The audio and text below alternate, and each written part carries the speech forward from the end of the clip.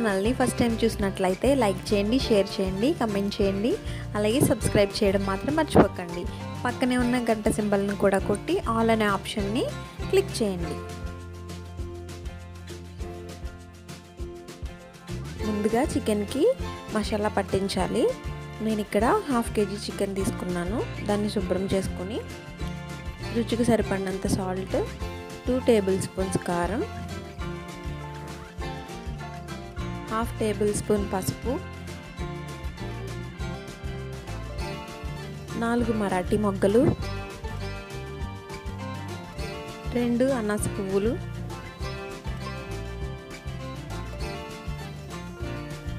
కొంచెం దాల్చిన చెక్క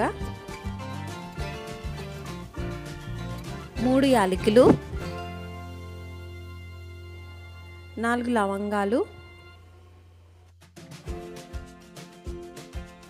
కొంచెం జాపత్రి. Half cup fried onions. గుప్పెడు పుదీనా.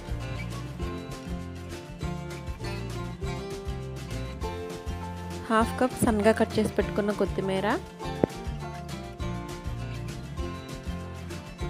టూ టేబుల్ స్పూన్స్ అల్లం వెల్లుల్లి పేస్ట్.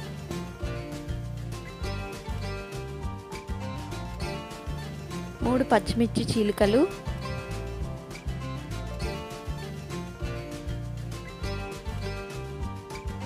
మనం వేసిన ఈ మసాలాలన్నీ చికెన్కి పట్టేలా బాగా మసాజ్ చేయాలి.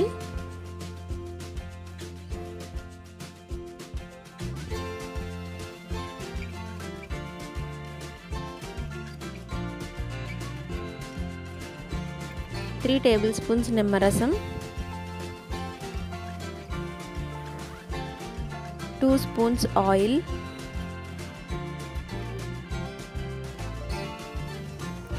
మరొకసారి నిమ్మరసం ఆయిల్ కూడా కలిసేలాగా బాగా మసాజ్ చేయాలి.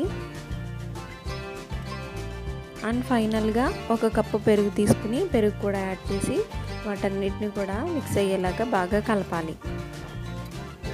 ఈ విధంగా కలుపుకుని ఫోర్ అవర్స్ పక్కన ఉంచేసుకోవాలి. లేదా మీరు ఓవర్ నైట్ అంతా కూడా ఉంచేసుకున్న టేస్ట్ అనేది చాలా బాగుంటుంది. నెక్స్ట్ ప్రాసెస్ ఏంటంటే మనం రైస్ ఉడికించుకోవాలి. దీనికి కొలత ఏం అవసరం లేదండి.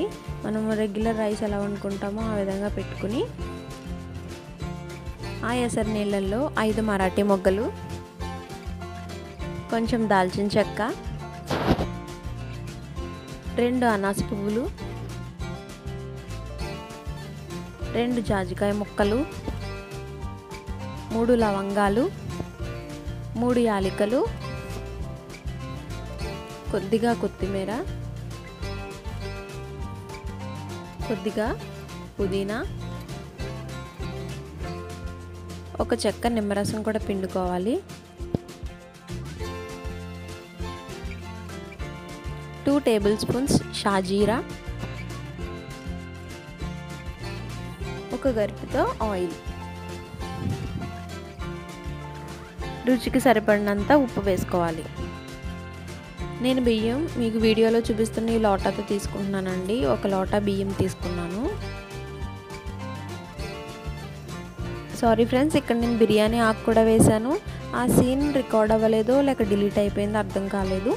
మీరు బిర్యానీ ఆకు కూడా వేసుకోండి.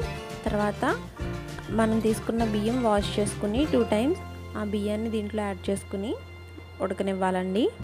ఈ విధంగా ఎయిటీ పర్సెంటేజ్ కుక్ అయిన రైస్ని స్టవ్ ఆఫ్ చేసుకుని వాచుకోవాలి. తర్వాత మనం ముందుగా మ్యారినేట్ చేసుకున్న చికెన్ని అడుగు మందంగా ఉన్న బౌల్లో వేసుకుని హై ఫ్లేమ్ మీద ఫైవ్ మినిట్స్ ఉడకనివ్వాలి. ఫైవ్ మినిట్స్ చికెన్ ఉడికిన తర్వాత ఒక లేయర్గా మనం వాచుకున్న రైస్ని వేసుకోవాలి.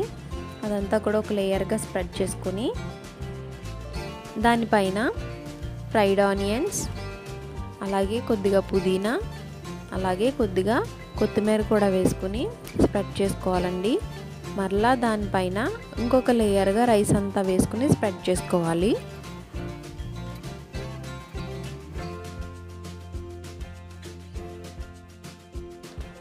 రెండవసారి వేసిన రైస్ మీద కూడా కొద్దిగా ఫ్రైడ్ ఆనియన్స్ అలాగే పుదీనా అలాగే కొత్తిమీర కూడా వేసుకుని అరేంజ్ చేయాలి.